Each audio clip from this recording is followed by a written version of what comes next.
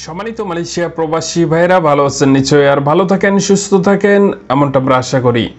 বন্ধুগণ, আজকের ভিডিওয়ে আলোচনা করব বাংলাদেশ হাই কমিশন থেকে পাসপোর্ট বিতরণের জন্য এক বিজ্ঞপ্তি দেওয়া হয়েছে, সে বিষয়ে কথা বলব এবং ইমিগ্রেশন রিলেটেড আপনাদের কিছু প্রশ্নের উত্তর দেব।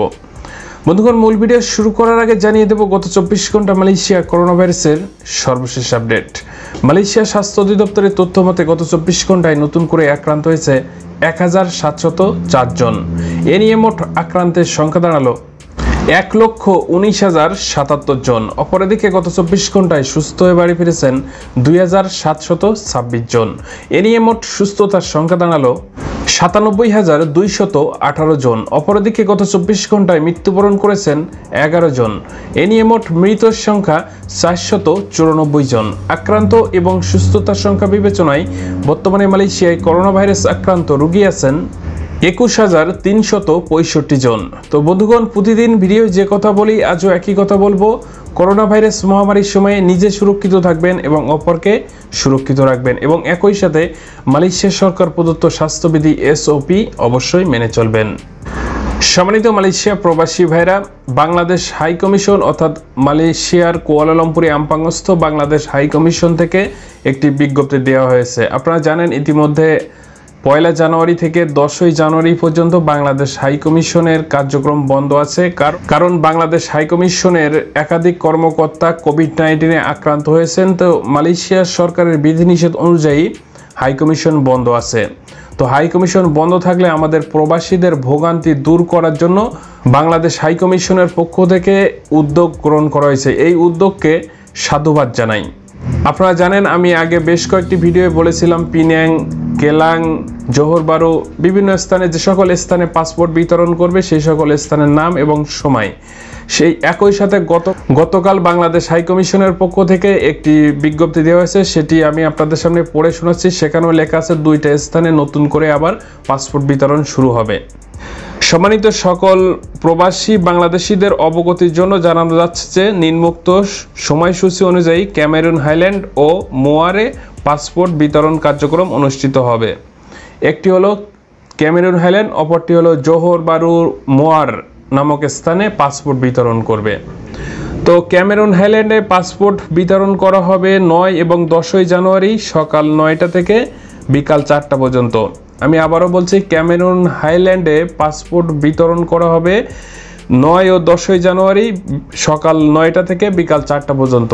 তো তো আপনারা যারা পাসপোর্ট সংগ্রহ করবেন, তাদের স্থান হলো হোটেল তৃতীয়ংশা লট একশো সাতাশি অ্যান্ড একশো আট অষ্টাশি জালান বাসার আমি আবারও বলছি, ঠিকানাটি হোটেল তৃতীয়ংশা, লট একশো সাতাশি এবং একশো অষ্টাশি জালান বাসার এই স্থান থেকে আপনারা নয় এবং দশই জানুয়ারি সকাল নয়টা থেকে বিকাল চারটার মধ্যে আপনাদের পাসপোর্ট আপনারা সংগ্রহ করতে পারবেন। তবে এখানে কথা আছে, আপনাদের পাসপোর্ট সংগ্রহের জন্য অবশ্যই কিন্তু অনলাইনে আগে থেকে অ্যাপয়েন্টমেন্ট সংগ্রহ করে রাখতে হবে।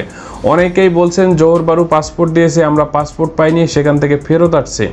আপনাদের সমস্যা হলো, আপনারা অ্যাপয়েন্টমেন্ট না নিয়ে সরাসরি সেখানে যে পাসপোর্ট আনতে গেছেন। ভাই, সরাসরি পাসপোর্ট আনতে গেলে তো পাসপোর্ট দেবে না। আমি আগেও বলেছি, বাংলাদেশ হাই কমিশন থেকেও কিন্তু এটাও জানানো হয়েছে যারা অ্যাপয়েন্টমেন্ট নেবে, শুধু তারাই পাসপোর্ট সংগ্রহ করতে পারবে। এরপরে আসি জোহরবারু মোয়ার। জোহরবারু মোয়ারেও একই অবস্থা। সকাল নয়টা থেকে বিকাল চারটা পর্যন্ত পাসপোর্ট দেবে, নয় এবং দশই জানুয়ারি। মোয়ারের স্থান হলো TML remittance centre SDN BSD আমি আবারও বলছি জোহরবারু মোয়ার আপনারা বাংলাদেশের টাকা পাঠানোর যে ব্যাংক কিংবা অফিস আছে TML remittance centre SDN BSD এই অফিস থেকে আপনারা পাসপোর্ট সংগ্রহ করতে পারবেন নয় এবং দশই জানুয়ারি। তবে সেক্ষেত্রেও আপনাদের আগে থেকে অ্যাপয়েন্টমেন্ট সংগ্রহ করে রাখতে হবে।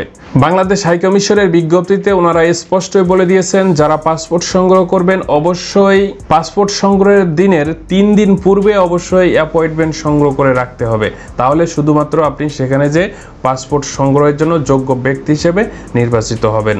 আর অ্যাপয়েন্টমেন্ট ব্যতীত কোনো ব্যক্তিকে পাসপোর্ট সেখান থেকে দেওয়া হবে না। আর আপনারা কীভাবে অ্যাপয়েন্টমেন্ট সংগ্রহ করবেন, সে অ্যাপয়েন্টমেন্টের লিঙ্ক আমার ভিডিও ডিসক্রিপশন বক্সে পেয়ে যাবেন। সেখান থেকে আপনারা ক্লিক করে সঠিকভাবে অ্যাপয়েন্টমেন্ট সেখান থেকে নিতে পারবেন। সম্মানিত মালয়েশিয়া প্রবাসী ভাইরা, এই ছিল মোটামুটি আপডেট সংবাদ।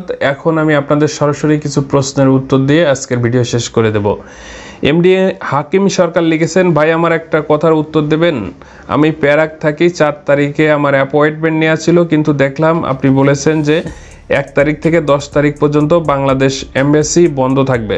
তাহলে আমি কবে আনতে পারব আমার পাসপোর্ট এবং কীভাবে? দয়া করে একটু জানাবেন। এমডি হাকিম সরকার ভাই, আপনার অবগতির জন্য বলতে চাই, বাংলাদেশ হাই কমিশন থেকে কিন্তু সরাসরি বলা হয়েছে এবং আমার ভিডিওতেও আমি বলেছি। আপনি হয়তো খেয়াল করে শোনেন নাই। যেহেতু এক তারিখ থেকে দশ তারিখ পর্যন্ত বন্ধ থাকবে, আপনি এগারো তারিখে যদি হাই কমিশন খোলে তখন আপনি যেতে পারবেন আপনার আগের অ্যাপয়েন্টমেন্ট নিয়ে। যেহেতু এটা আপনার সমস্যা না কোভিড নাইন্টিনের কারণে হাই কমিশন বন্ধ আছে। তো যে যখন কিনা হাই কমিশন খুলবে, ঠিক তখনই আপনি আপনার সেই পুরাতন অ্যাপয়েন্টমেন্ট নিয়ে একটু সকাল সকাল, অর্থাৎ সকাল নয়টার দিকে বাংলাদেশ হাই কমিশনে উপস্থিত হবেন। সেখান থেকে আপনার পাসপোর্ট আপনি সংগ্রহ করতে পারবেন।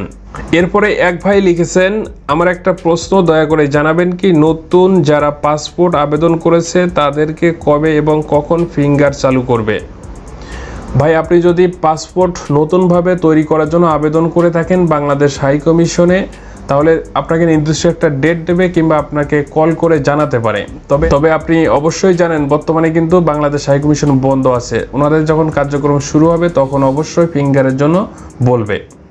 আর এর মধ্যেও আপনার করণীয় হলো, যদি বেশি দিন সময় হয়ে থাকে, তাহলে আপনি মাঝে মধ্যে একবার যে হাই কমিশনে খোঁজ নিতে পারেন যে আপনার কাগজপত্র রেডি হয়েছে কিনা। এরপরে এস কে মজিদ লিখেছেন, বৈধ হবার কার্যক্রম কি শুরু হয়ে গেছে? নাকি শুধু আবেদন করতেছে? এস কে মজিদ ভাই, এ বিষয়ে আমি অনেক কথা বলেছি। তারপরেও আপনার উদ্দেশ্যে বলি, এখন কিন্তু আবেদন করতে হবে অনলাইনে প্রথম। ইমিগ্রেশন যদি আপনার সিলেক্ট করে, তারা তারপরে আপনার বৈধতার কার্যক্রম শুরু হবে। এর আগে নয়। তো আপনি যদি বৈধ হতে চান, ভাই, দ্রুত আপনার বসের মাধ্যমে আবেদন করেন। এরপরে মেহেদি হাসান স্বপন লিখেছেন, ভাই when can entry PL case holder in Malaysia অর্থাৎ যারা ওয়ার্ক পারমিটে বাংলাদেশে চুরিতে আটকা পড়েছে, তারা কখন আসতে পারবে?